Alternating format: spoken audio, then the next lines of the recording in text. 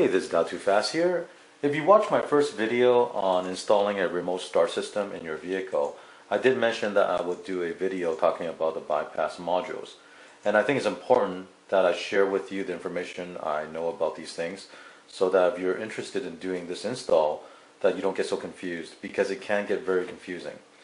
So with the bypass module, what it allows you to do is to remotely start the vehicle without having the key because most uh, cars these days do have a transponder chip built inside the key so that when you start the vehicle, the car recognizes that you have the right key for the car and allow you to start.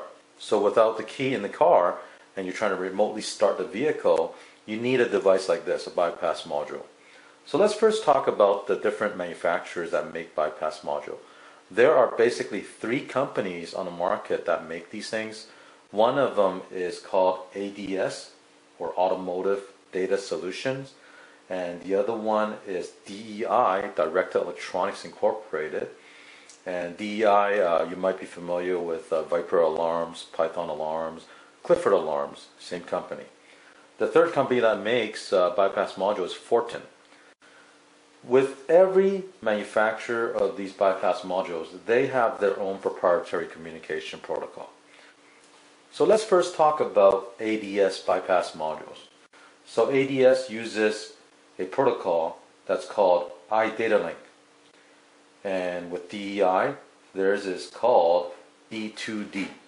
ADS did come out and made a compatible protocol that's same as D2D, but instead of calling that, they call it DBI. So if you look on iDataLink's website, they'll talk about their own iDataLink uh, protocol and also the DBI protocol. Now Fortin also have their own proprietary protocol and their protocol is called DataLink.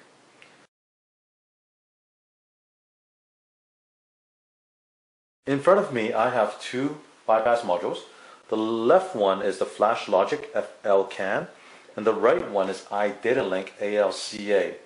In fact, both of these are exactly the same bypass modules. What it is that the flash logic is rebranded from this model and is marketed under AudioVox so that this bypass module will have the right connector to connect the bypass module to any of the AudioVox alarm systems. So in the box, the only difference between these two is the FL-CAN, you'll get a different cable with a brown end that will connect into the AudioVox alarms. And this one, ALCA, is missing that cable.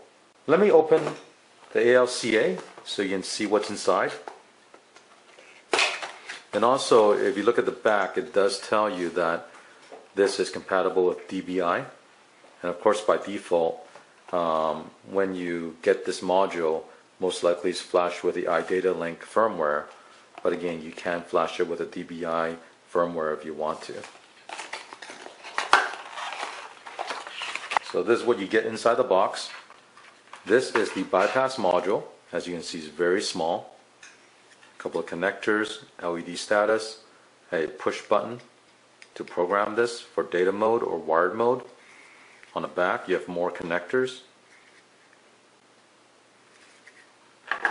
And these are the cables that come with it.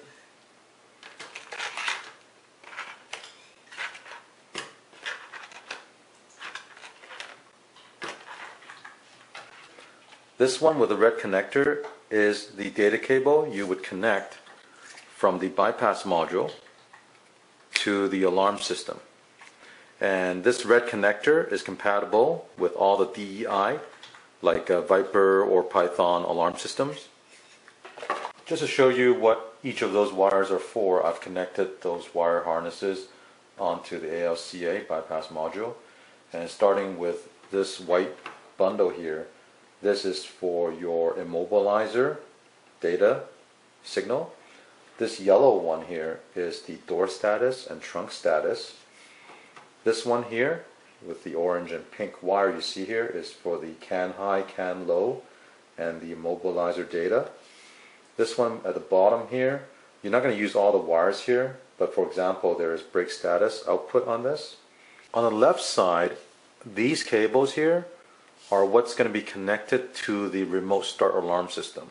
Whereas all the cables on the right side, typically, not all of them, but many of these are going to be connected to the car, the vehicle. Now, with the data cable here, this is for data mode.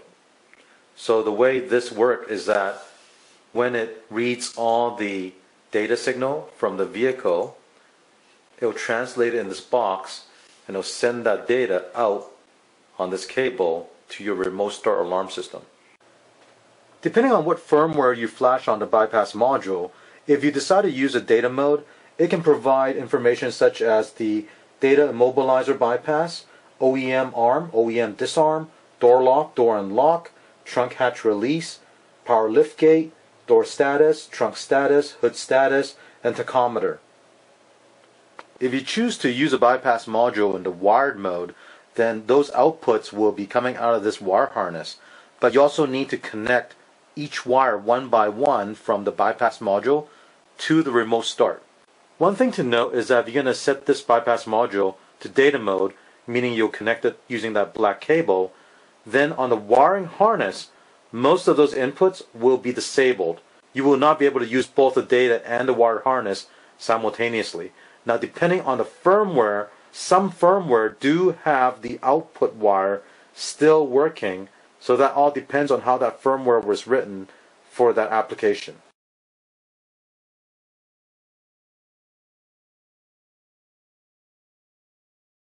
Let me show you what the wiring diagram looks like from iDataLink. And here's an example. Again, depending on which firmware you're going to use on this module, like for example, this one I printed is for ADS-ALDL-NI4. So with that firmware, this is the wiring guide you need to follow to do your install. And it'll tell you everything you need to connect with a solid line. All the black solid line needs to be connected. It'll also tell you what wires need to be connected for the immobilizer side, or in this case, there's also a CAN high-low wire that you need to connect. The dotted lines do not need to be connected if you're using data mode. These installation guide can be downloaded from the iDataLink website, so you can review what connection it needs prior to even buying any of these hardware.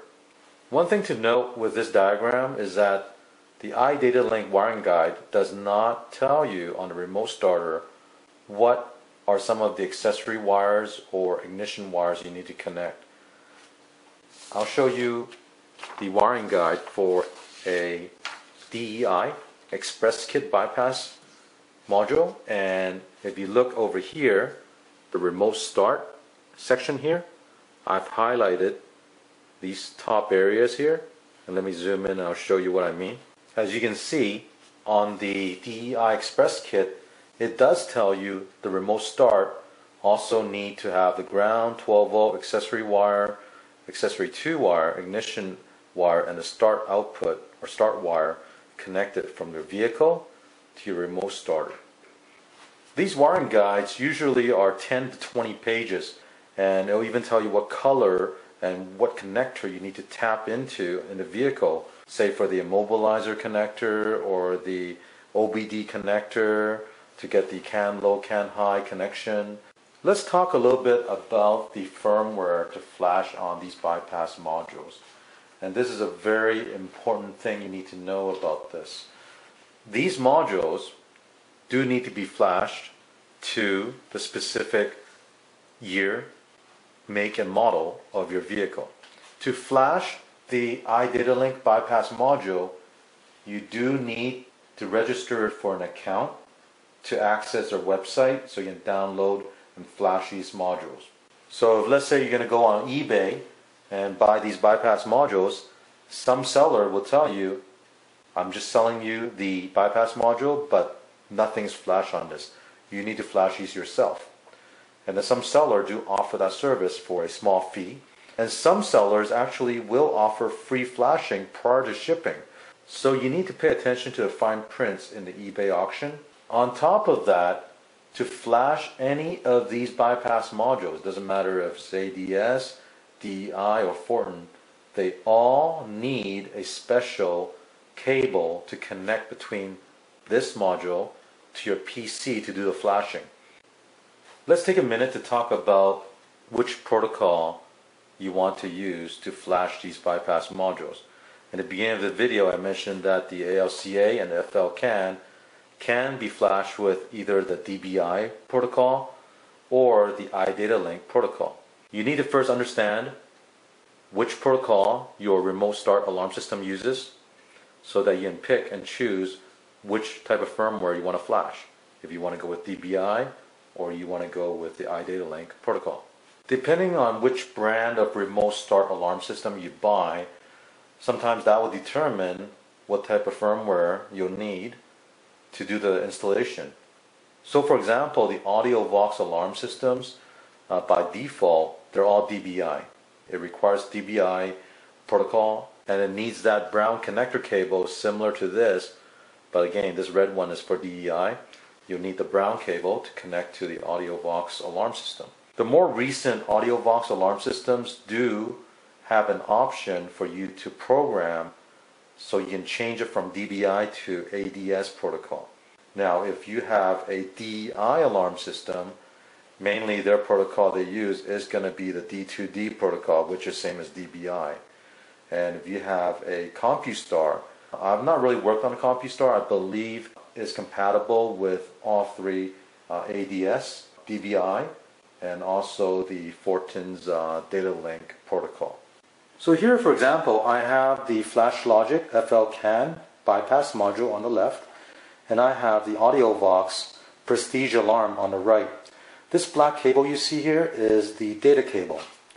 So when you connect everything up in the vehicle, this bypass module will send all the car's information for door lock, door trigger, uh, tach wire, all that information will be sent to the remote starter. And this is what they call a data wire for data mode. So the things you need to know is that between different manufacturers of remote start systems, they use different connectors for their data port. And if you don't have the right cable or the right connector, you'll never be able to connect these two together. I hope this information is helpful to you guys who might be interested in installing your own remote start system in your vehicle. Anyways, I hope uh, you got some good information from this. And uh, don't forget to click on the like and subscribe button. Thank you.